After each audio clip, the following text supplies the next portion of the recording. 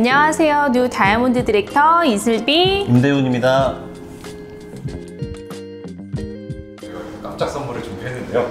와, 기념하실 수 있게 아유, 저희가 감사합니다. 준비해봤는데 아, 와 귀엽다.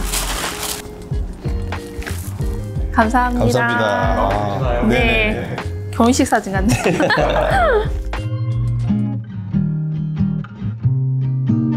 어, 외부에서 업무 보고 있었는데 승급 flyer가 막 뜨는 거예요. 그래서 아, 그거 보면서 진짜 아, 내가 원하던 진짜 다이아몬드 디렉터가 됐구나 이런 생각을 좀 많이 했었고 굉장히 기뻤습니다. 네, 너무 축하를 많이 받아서 약간 좀 얼떨떨하기도 했고요. 그때 당시에는 실감이 막 나진 않았던 것 같아요. 네.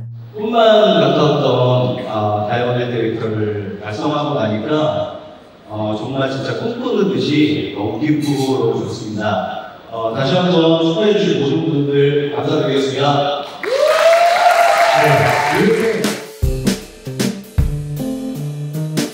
와이프인 이슬비 리더가 어, 이 일을 좀 함께 했으면 좋겠다라는 생각을 했나 봐요. 어, 싱가포르 여행도 할 겸 그리고 큰 그림도 볼 겸 그래서 저한테 어, 여행을 갔다 오라고 이렇게 저에게 투자를 해줬죠. 그래서 속으로 어, 혼자만의 여행을 상상하면서 어, 싱가포르 컨벤션을 갔고 어, 싱가포르 컨벤션에서 정말 제가 그 장면을 봤을 때 아, 나도 저 무대의 주인공이 되고 싶다라는 생각을 했고, 한국으로 돌아와서 정말 유사나에 대한 부분을 다시 한번 생각했고, 열심히 했던 것 같아요.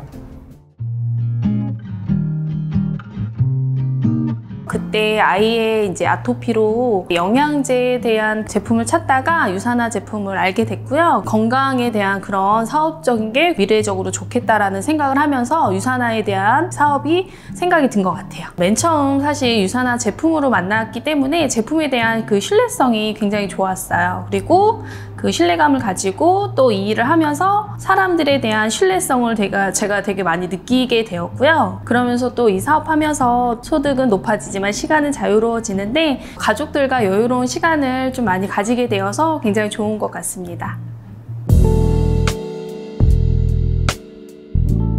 저는 다른 리더님들께 유산화의 가능성을 좀 보여드리고 싶어요. 저는 굉장히 평범한 사람이고, 그리고 제가 특별한 능력이 있었던 것이 아니라 이 안에서 꾸준히 알려주시는 대로 배우고 한 거기 때문에 누구나 이 안에서 잘하실 수 있다, 꾸준한 성장을 하실 수 있다라는 그런 가능성을 좀 보여드리고 싶은 그런 리더이고 싶습니다. 아직도 그 네트워크 마케팅에 대한 불신이 많은 분들이 계세요.